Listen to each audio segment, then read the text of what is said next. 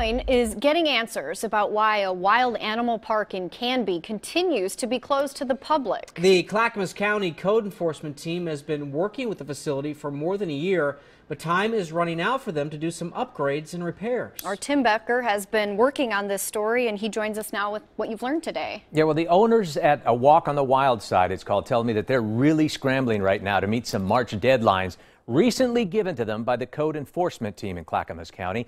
They think they aren't being given enough time, but I sat down with county officials today, and they say the Wild Animal Refuge has had plenty of time to come into compliance with several code violations they found on site. No, more people. No one on the property. No one on the property. They don't care who you are or what your reason is. There's Workers at this home to both farm and exotic animals wonder how, for seven years, they were able to charge visitors for an up close look at and to learn about everything from tigers to turkeys.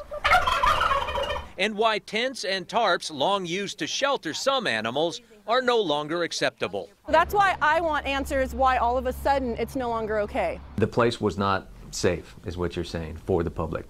Correct. Andrea Hall is the Clackamas County Code Enforcement Officer who's been working the case. She tells me the list of violations she recently sent to the animal park have been known to its owners since last June, and some even before that.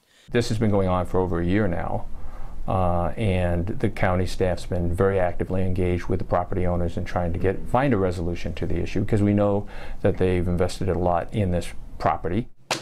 The county's paper trail on the case dates back to November of 2013 when they first told the park it could no longer charge for entry or allow any public on site because the land is zoned strictly for agricultural use. One of the issues with this property is that I don't think there's a zone out there that they could change to that would allow this.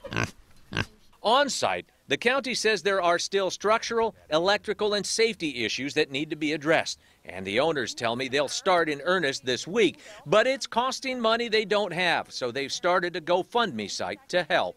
Even when they come into compliance with all these, these building codes and, and whatnot, they will never be able to open as a zoo on that location again, a, a- as a place where people pay to come and see the animals, no matter how safe the area. Not to my knowledge. And that's because of the zoning, Zoning, the correct. agricultural zoning. Correct.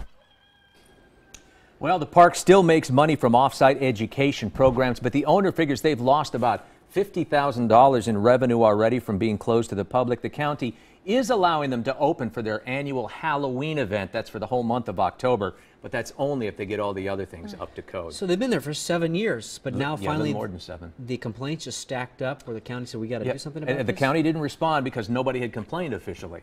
Uh, when someone did complain, it was November of 2013. That's when they first went in. Uh, and then they found all the other violations. Well, certainly a story that will continue to follow then. Absolutely. Tim, thank you Yep, for that.